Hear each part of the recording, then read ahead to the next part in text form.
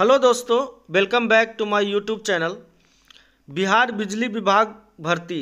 एक बार फिर से चर्चा में है। दो मंथ पहले लगभग एक नोटिफिकेशन आया था B S P C L की तरफ़ से जूनियर इंजीनियर और टेक्नीशियन की भर्ती को लेकर के। लेकिन उसका लिंक ओपन नहीं हो पाया था किसी कारणवश, जिसके कारण ये फॉर्म फिलअप नहीं हो पाया था।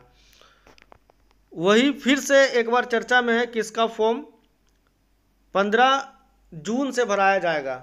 ऐसा यूट्यूब के माध्यम से, न्यूज़ चैनल के माध्यम से और पेपर के माध्यम से सुनने को मिला होगा। सबसे पहले हम आपको बता दें कि देखिए, ये इसका ऑफिशियल साइट है और इसका रिक्वायरमेंट न्यूज़ में अगर हम लोग जाते हैं तो रिक्वायरमेंट न्यूज़ में कोई भी ऐसा नोटिफिकेशन नहीं है जिससे आपको पता चले कि ये फॉर्म पंद्रह जून से भराएगा ही। और दूसरी बात है कि इस भर्ती का सबसे बड़ा मुद्दा है कि जूनियर इंजीनियर का जो सीट है, चालीस सीट वो सिर्फ़ चालीस ही रहेगा या फिर बढ़ाया जाएगा?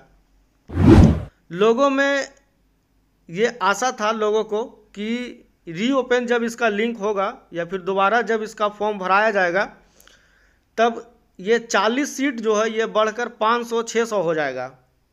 ये आशा था, जितने भी डिप्लोमा स्टूडेंट हैं इलेक्ट्रिकल ब्रांच से पास आउट हैं, बिहार बिहार से वो सभी को ये आशा था कि ये सीट बढ़ाकर 600 700 हो जाएगा। लेकिन सच में सीट बढ़ाया जाएगा या फिर नहीं बढ़ाया जाएगा, सिर्फ़ 40 सीट पे ही आपको फाइट करना है।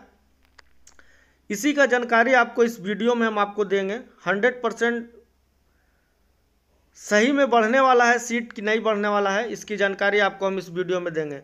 तो आप लास्ट तक हमारे वीडियो में बने रहें और जो लोग भी नए हैं, चैनल को सब्सक्राइब करें, बेल आइकन को भी दबाएँ ताकि आपको अपडेट्स मिलता रहे। किसी भी प्रकार का जानकारी चाहिए, इस वैकेंसी से रिलेटेड तो आप कमेंट करें, कमेंट का रिप्लाई आपको मिलेगा।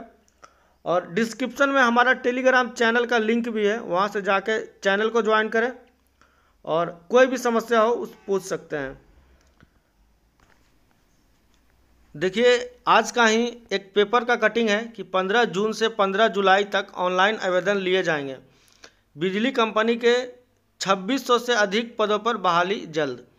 यही बी एस का वैकेंसी का डिटेल्स इसमें लिखा गया है कि कौन से पद में कितना सीट है। देखिए, यहाँ पे टेक्नीशियन ग्रेड थ्री का 2000 पद है जूनियर अकाउंट्स का 300 पद है और कलर का देखिए 150 है, स्टोर असिस्टेंट का 80 है, सहायक अभियंता का 40 और कनीय अभियंता का 40 सिर्फ़ 40 सीट। ये पेपर का कटिंग है और आज का है। इसका मतलब ये है कि ये जो जानकारी दिया गया है, ये कहीं ना कहीं कंपनी से लेकर कहीं दिया गया है। कहीं साइट पे तो दिया गया है नहीं कि साइट से निकाल लिया। ये कंपनी से ही जानकारी लिया होगा कि 15 जून से इसका फॉर्म भराया जाएगा। इसमें देखिए साफ़ साफ़ लिखा है कि बिजली कंपनी के 2600 से अधिक पदों पर बहाली जल्द होगी। इसकी तैयारी बिजली कंपनी मुख्यालय ने शुरू कर दी है। तो ये जानकारी पेपर वाले लाए कहाँ से? कहीं ना कहीं कंपनी से ही जानकारी लिया होगा। इसमें Bihar state power holding company के अनुवांशिक साउथ बिहार और north Bihar power distribution company, Bihar state power transmission company शामिल है। अधिकारियों के मुताबिक 15 जून से 15 जुलाई तक ऑनलाइन आवेदन लिए जाएँगे। अगस्त सितंबर में परीक्षा होगी। Bihar state power holding company ने मंगलवार को 15 जून से ऑनलाइन आवेदन लिए जाने का मंजूरी दी है। नोटिफिकेशन एक से दो दिन में जारी कर दिया जाएगा। इसका मतलब है कि आप कंपनी से पता करके इसमें लिख रहे हैं कि 15 जून से इसमें लिंक ओपन कर दिया जाएगा और भराया जाएगा।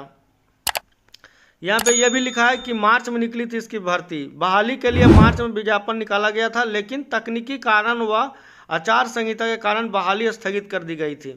तो साफ़ साफ़ आपको ये पता चलता है कि जो सीट था, वही सीट रहने वाला है और कोई भी सीट बढ़ाने का चांस नहीं है। सिर्फ़ 40 सीट पे ही जूनियर इंजीनियर की बहाली होगी। ये पेपर में जो न्यूज़ दिया गया है, इसके आधार पे अगर आप लोग सोचें तो यही पता चलता है, यही निष्कर्ष निकलता है कि जूनियर इंजीनियर का जो सीट है, वो 40 का 40 ही रहेगा, बढ़ाया नहीं जाएगा। क्योंकि ये बिना जानकारी का नहीं लिखा होगा कि 15 जून से आपका फॉर्म भराया जाएगा।